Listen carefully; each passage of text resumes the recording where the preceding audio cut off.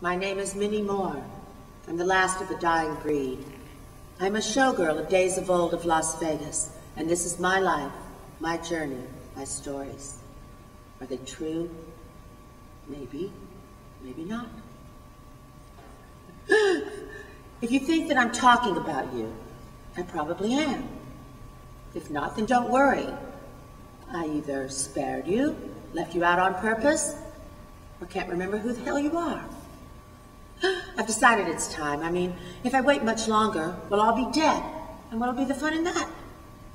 I was there in the last glory days of Vegas when sin was sin and everything else wasn't. I'm not here to tell you lies. Let's just say some are tall tales, some are small tales, some are tales about tales. There are lessons to be learned, hearts that were broken and few that were found for nobody who goes to Vegas comes out unscathed. Was it fun? Absolutely. Was it devastating? Absolutely. Would I do it again if I thought it wouldn't kill me? Probably.